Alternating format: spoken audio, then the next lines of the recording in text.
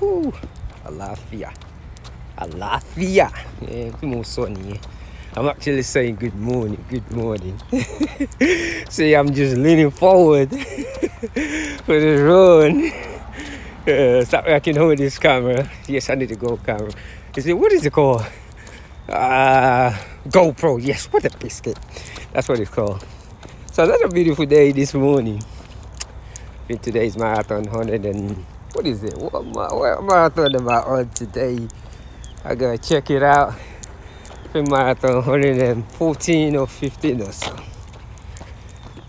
I've actually just been coming out since April the 18th this year. Just running a marathon. That's what I've done this year. So I literally run over 100 marathons this year already.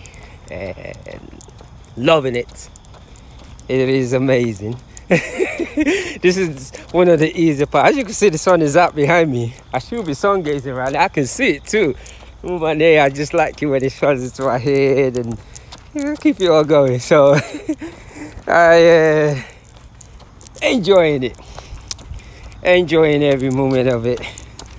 So yes, this is one of the easier parts. So it's like I'm just I'm just leaning forward. Actually, it all comes from the stomach, the feet, and that is all because of that yoga and knowing how to breathe through your nose. This nose right here has a lot of power in it.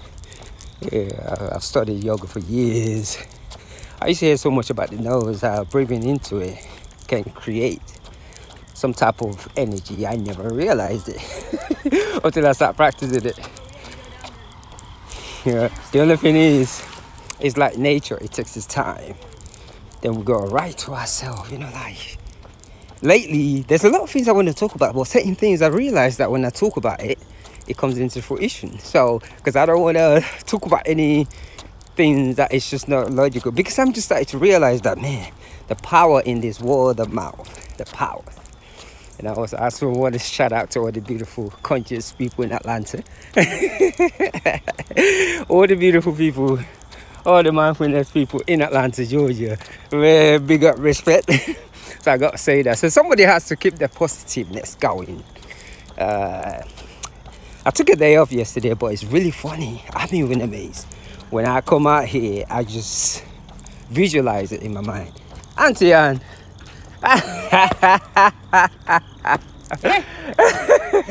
How are you? My goodness. Good to see you. What you been up to? Yes, me a Rasta man now, you know. I just grow my hair, just let it grow. Me a Rasta Are man. they?